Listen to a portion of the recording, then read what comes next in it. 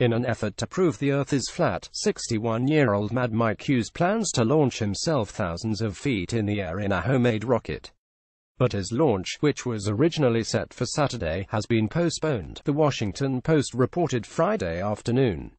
Hughes was originally planning to conduct his experiment over Amboy, a ghost town situated along Route 66 in California, that has a population of four. However, the Bureau of Land Management BLM reportedly informed him that he cannot launch his scrap metal rocket on public land.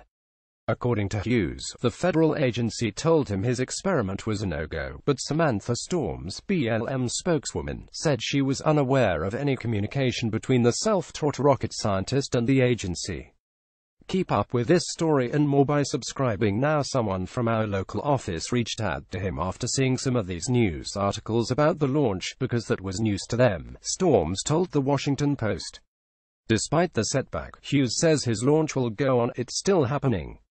We're just moving it three miles down the road, Hughes said. This is what happens any time you have to deal with any kind of government agency. If successful, Hughes' rocket will launch him a mile into the sky at 500 miles per hour, according to the Associated Press. If you're not scared to death, you're an idiot, he told the AP. It's scary as hell, but none of us are getting out of this world alive.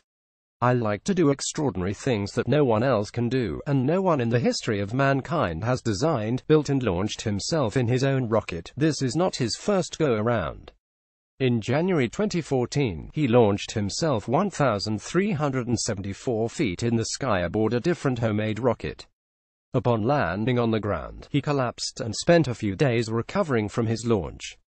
At the time, he wasn't a flat earth believer like rapper B.O be, but his ideology has since changed, the Washington Post reports. His main sponsor for his latest launch is a group called Research Flat Earth, whose name is inscribed in large bold letters on the side of his rocket. This launch is just the first phase of his journey to prove the Earth is flat. In the future, he hopes to travel to space and take a picture of the disc-shaped Earth. I don't believe in science, Hughes told the AP. I know about aerodynamics and fluid dynamics and how things move through the air, about the certain size of rocket nozzles and thrust.